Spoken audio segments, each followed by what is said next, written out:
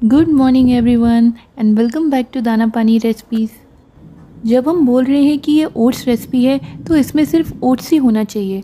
बाद में जाकर इसमें आटा या सूजी मिला देना तो चीटिंग है ना? खैर, ये बातें जाने दीजिए। चलिए, मैंने अपने बेटे से पूछा, आज टिफ़िन में क्या दूँ? तो वो बोला, मम्मी बर्गर दे दो नूडल्स दे दो अच्छा छोड़ो, ये सब पास्ता ही दे दो। उसमें खूब सारी सब्ज़ियाँ डाल देना तो इसी बहाने मैं सब्ज़ी भी खा लूँगा। मैंने सोचा, सब्ज़ियाँ तो तुम खा लोगे, पर थोड़ी सी सब्ज़ी खिलाने के लिए क्या मैं तुम्हें केमिकल और प्रिजर्वेटिव से भरा हुआ पास्ता खिलाऊं? तो चलो, आज बनाती हूँ तुम्हारे लिए ओट्स का पास्ता। इसके लिए मैंने यहाँ पर एक कटोरी नॉर्मल कोकर ओट्स लिए हैं। इसे हम डालेंगे मिक्सर ग्राइंडर में और इसे पीस कर हम इसका पाउडर बना लेंगे। और यही होता है हमारा ओट्स का आटा। ओट्स को सिर्फ़ हम वेट लॉस से ही जोड़ के देखते हैं। पर क्या हमें पता है कि ओट्स में बहुत सारे एंटीऑक्सीडेंट्स होते हैं और वो हमारे हार्ट हेल्थ के लिए कितना अच्छा होता है?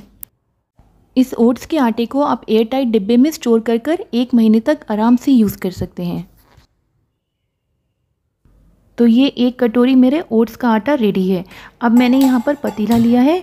इसमें मैं उतना ही पानी डालूँगी जितना मैंने ओट्स का आटा लिया है। अगर एक कटोरी आटा है तो एक ही कटोरी इसमें हमें पानी डालना है।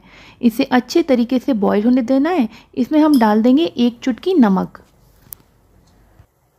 जब ये बहुत अच्छे तरीके से बॉईल होने लगे, इसमें बबल्स बनने लगे, उस समय हम गैस स्टव को धीमी आँच पे कर देंगे और इसमें ओट्स का आटा डालेंगे। आटा डालकर इसे अच्छी तरीके से हम मिक्स कर लेंगे।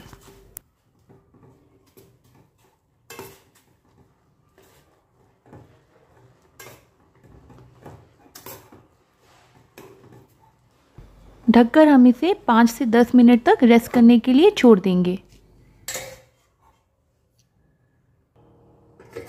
दस मिनट के बाद हम आटे को निकाल लेंगे और हाथों को सिर्फ़ थोड़ा थोड़ा गीला करके इसे अच्छे तरीके से पाँच और मिनट के लिए गूंद लेंगे।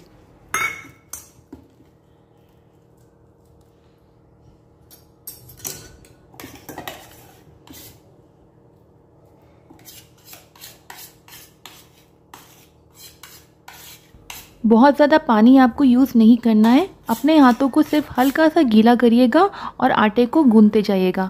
पाँच और मिनट के लिए इसे अच्छी तरीके से हम गूंद लेंगे।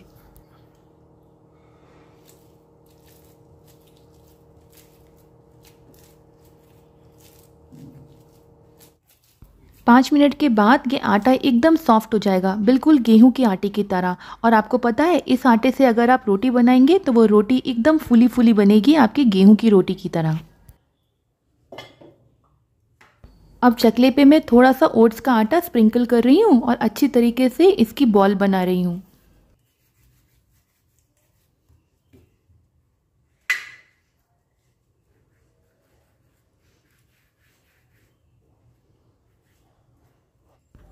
इसको हमें ऐसे लंबा सिलेंड्रिकल शेप में कर लेना है। इसके बाद इसे कट करके इसकी छोटी छोटी बॉल बनानी है। अगर आपको डायरेक्टली छोटी छोटी बॉल बनानी है आटे से तो वो भी आप बना सकते हैं।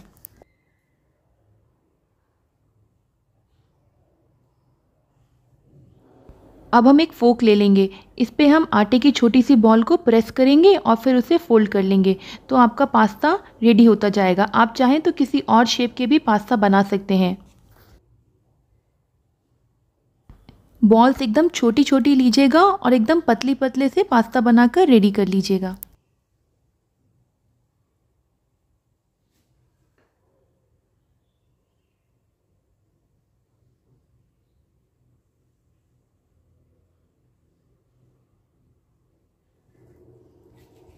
आप चाहें तो डायरेक्ट आटे से छोटी छोटी बॉल्स बनाइए और फिर फोक पे लगाकर पास्ता रेडी करते जाइए।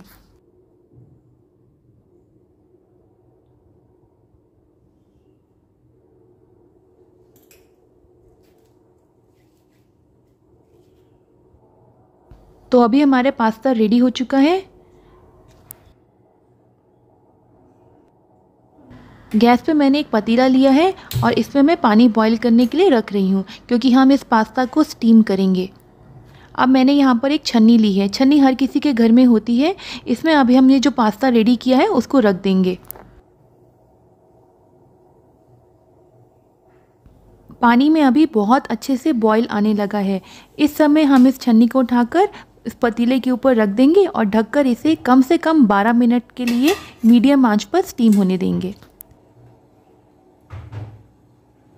जब तक पास्ता स्टीम हो रहा है, तब तक हम इसकी वेजिस कट करके रेडी कर लेते हैं। इसके लिए मैं यूज़ करूँगी आधी कैरेट आधी शिमला मिर्च और एक छोटा प्याज। आप चाहें तो हरी मिर्ची यूज़ कर सकते हैं, पर अगर आप बच्चों के लिए बना रहे हैं तो हरी मिर्ची को आप स्किप कर दीजिएगा।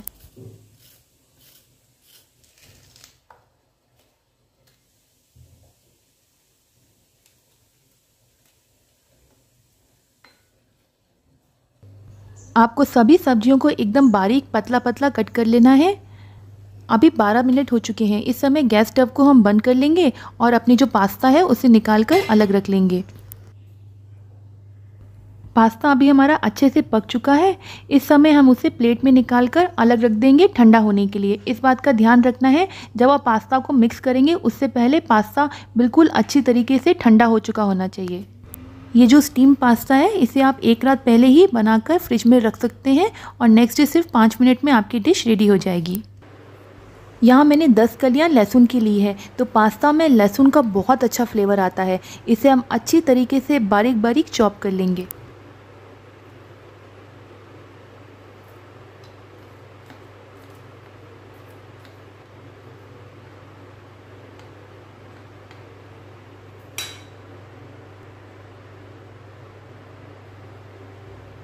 कढ़ाई में अभी मैं एक बड़ी चम्मच सरसों का तेल डाल रही हूँ। आप अपनी चॉइस का कोई सा भी ऑयल यूज़ कर सकते हैं। तेल जब अच्छे से गर्म हो जाएगा, उस समय हम इसमें डाल देंगे लहसुन और हरी मिर्ची। अब इसे सिर्फ़ आधे मिनट के लिए अच्छे तरीके से सॉटे कर लेंगे। गैस स्टव को आप हाई फ्लेम पे रखिएगा, क्योंकि नूडल्स और पास्ता इन सब में सब्जियों को हाई फ्लेम पर ही पकाते हैं। अब मैं इसमें सारी सब्ज़ियाँ एक साथ ही डाल दूँगी और इसे हाई फ्लेम में सॉटे करूँगी। इसके लिए आप कंटिन्यूसली सब्जियों को स्टर करते रहिएगा ताकि वो जले नहीं।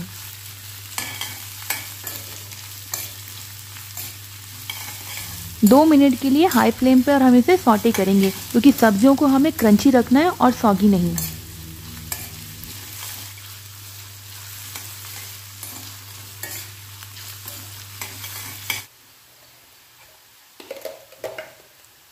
सब्ज़ियाँ अभी क्रंची हो चुकी हैं। इस समय मैं इसमें डेढ़ छोटी चम्मच मेयोनीज डाल रही हूँ। और साथ ही साथ डेढ़ छोटी चम्मच मैं इसमें टोमेटो केचप डालूँगी।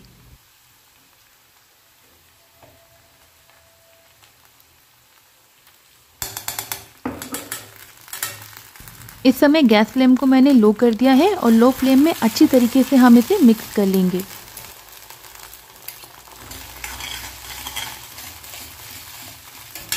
पास्ता में काली मिर्च का बहुत अच्छा फ्लेवर आता है। तो इस समय हम इसमें डाल देंगे काली मिर्च। आपको जितना तीखा खाना है, उस हिसाब से आप इसमें काली मिर्च डाल सकते हैं।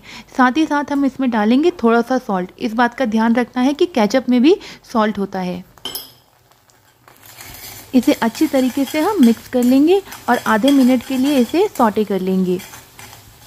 पास्ता जो हमने ठंडा होने के लिए रखा था, वो भी अभी ठंडा हो चुका है। अब हम इसमें वो पास्ता डाल देंगे। इस बात का ध्यान रखना है कि पास्ता को पहले अच्छे तरीके से ठंडा होने देना है।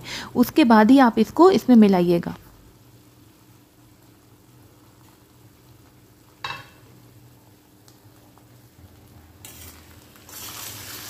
इसे अच्छी तरीके से मिक्स कर लीजिए और सिर्फ़ दो मिनट के लिए ढककर इसे पकने दीजिए, ताकि जो आपका पास्ता है वो अच्छे तरीके से सॉस को एब्जॉर्ब कर ले और अच्छा फ्लेवर ले ले।